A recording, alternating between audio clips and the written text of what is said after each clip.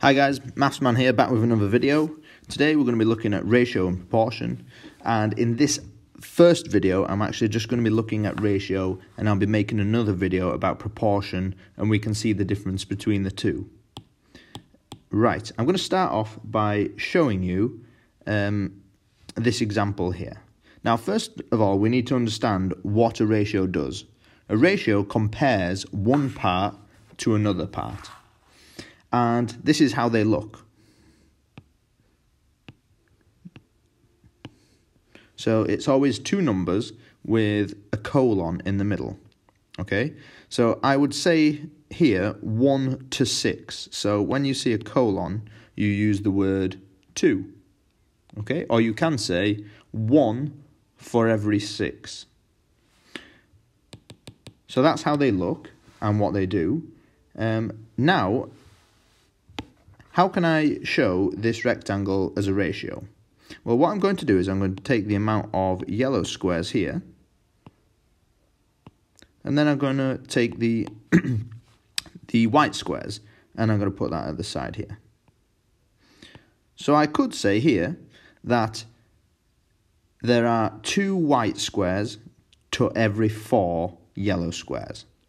Now, in ratio, another thing that we do is we simplify things, okay? Now, I can see here that actually I can half 2 and I can half 4. So actually the ratio here is 1 to 2, okay? One white square for every two yellow squares. And I can show you this, look. So there's one white square for every two yellow. One white square for every two yellow. And that fits. Now here's another example. This time um, I have stars in front of me. So if I count, first of all, how many blue stars I have, I have one, two, three, four, five, six blue stars. And I have one, two white stars.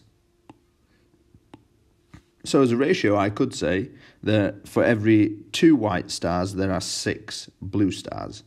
But again, I can simplify this and say one white star for every three blue stars. Now, here's a word problem uh, to do with ratio. So, Crazy Jack is offering one free shark with every six toothbrushes bought. So, if I buy 18 toothbrushes, how many free sharks do I get? Now, there are two ways I can actually work this question out there is a beginner's way and an expert's way. I'm going to begin with the beginner's way. So I'm actually going to do that by drawing. So it's I'm going to use a red to represent toothbrushes.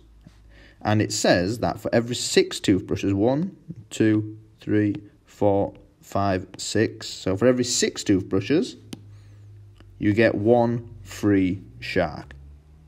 So the blue dot is supposed to represent the shark. Okay, so I've only got six toothbrushes so far, so I need another 12. So what I'm going to do is I'm going to represent that by doing this. Um, one, two, three, four, five, six. So now I've got another six uh, toothbrushes. I need another free shark. So I've got 12 toothbrushes now. I need another six. One, two, three, four, five, six. And I need another free shark. So I'm just going to check that I've got 18 toothbrushes. 1, 2, 3, 4, 5, 6, 7, 8, 9, 10, 11, 12, 13, 14, 15, 16, 17, 18. And the question was, how many free sharks do I have? Well, the answer is 3. Now, the expert's way of figuring this out would be to use my knowledge of times tables. Now, if you can imagine, if this question was 180 toothbrushes and 30 sharks, um, to do the beginner's way by drawing the dots, it would it would take me forever. Okay, so it's actually better if you use this method here. So, 18 toothbrushes, and they come in sets of six. So if I divide 18 by 6, that gives me 3.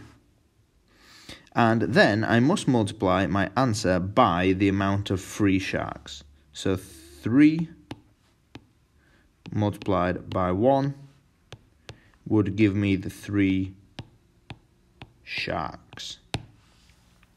Hope you enjoyed today's video uh, and hope it was useful. If it was, then please let me know with a thumbs up down below. Um, I am going to be making a second part video um, about proportion. So if you would like that, I'll I'll leave the link below. And if you'd like um, more maths videos, more free maths videos, then please hit the subscribe button. Thanks for watching.